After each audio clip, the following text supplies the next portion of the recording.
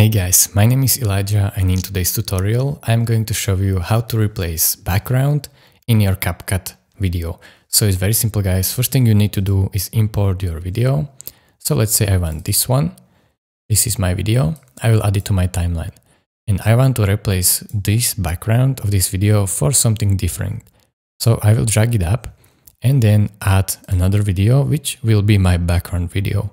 So let's say I like this one. So I'll double click it and import it. Then drag it down below, below this first clip. Now as you can see, I can't see the back background right now, but I need to select this clip, go over to video, then cutout and check this cutout box. As you can see, it will analyze it and it will cut out the background of the first video. As you can see, now the background is the second video. So it's that simple guys. Thank you for watching. If this was helpful to you, consider subscribing and liking this video and I will see you in the next one. Bye bye.